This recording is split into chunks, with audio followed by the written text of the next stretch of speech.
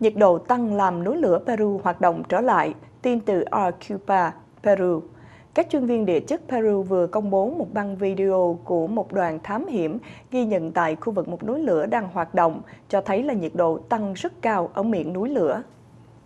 Các chuyên viên này đã trèo lên ngọn núi lửa Sabancaya thuộc vùng Arequipa ngày 26 tháng 7, chụp ảnh miệng núi lửa và đo nhiệt độ tại đó, cũng như khu vực chung quanh, ghi nhận sự thay đổi nhiệt độ của khối địa chất của núi lửa. Theo tiến sĩ Orlando Masdo là giám đốc của tổ chức quan sát núi lửa khu vực miền Nam thuộc Viện Địa lý Peru, hầu hết cuộc khám phá có ý nghĩa cho thấy là sự thay đổi nhiệt độ và việc ghi lại hình ảnh cùng với nhiệt kế là phương pháp khảo sát được áp dụng lần đầu tiên trong cuộc nghiên cứu hoạt động của núi lửa tại Peru. Theo Masdo, thì nhiệt độ đo được ở miệng núi lửa lên tới tối đa là 391 độ C, tương đương là 735.8 độ F, trong khi nhiệt độ ở bề mặt của các đường nứt chỉ ở vào khoảng 81 độ C, tương đương là 177.8 độ F.